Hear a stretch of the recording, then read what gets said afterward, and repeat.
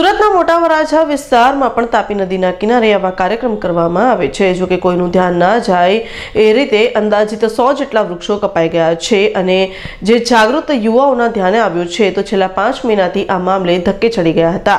અહેવાલ બાદ તંત્ર સફાળી જાગ્યું હતું અને સુરત મનપાના કર્મચારી દ્વારા અમરોલી પોલીસ સ્ટેશનમાં ફરિયાદ લખાવી છે. મોટા વરાછાના કેટલાક યુવાનોનો મીડિયાની ટીમનો સંપર્ક કરવામાં આવ્યો હતો અને જણાવ્યું હતું કે સુરતના મોટા વરાછા ખાતે આવેલા મહાદેવ ચોક પાસે આવો, જ્યારે ત્યાં મીડિયાની ટીમ પહોંચી તો યુવાનો દ્વારા એડ્રેસ આપવામાં આવ્યો, ત્યાં મીડિયા ટીમ પહોંચી ગઈ. સૂર્યપુત્રે તાપી નદીના પાળા પાસે ધીરે ધીરે ચાલવાનું શરૂ કર્યું, ત્યારે ખબર પડી કે આ જગ્યા ઓર તો વૃક્ષ કાપી નાખવામાં આવ્યા છે.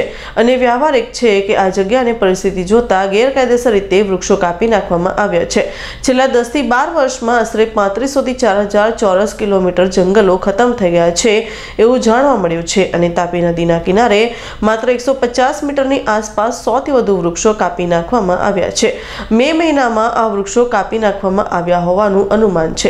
અને છેલ્લા પાંચ મહિનાથી જાગૃત યુવાનો forest department irrigation department Surat મહાનગરપાલિકાના ગાર્ડન ડિપાર્ટમેન્ટ પાસે જવાબ માટે જાય છે અને માત્ર જવાબના રૂપમાં ખોખો મળે છે.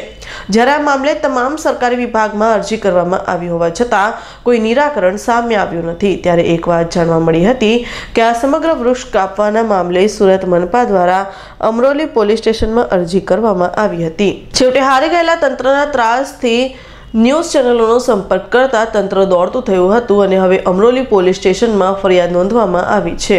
સુરતમાં સૂર્યપુત્રી તાપી નદીના કિનારે તો સો જેટલા વૃક્ષો કાપી નાખવામાં આવ્યા છે અને તંત્રને જાણ હોવા છતાં અજાણ બની રહ્યા છે. મીડિયાની ટીમે આ મામલે અવાજ ઉઠાવ્યો હતો અને તંત્ર દોડતું થયું હતું.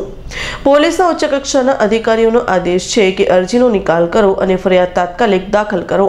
પરંતુ પીઆઈ અને નીચે આવતા અધિકારી કર્મચારી પોતાના પોલીસ સ્ટેશનમાં ગુના ઓછા નોંધાયા હોવાનું બતાવવા માટે ગુનો નોંધવામાં આનાકાની કરતા હોય છે. Bureau report Surat.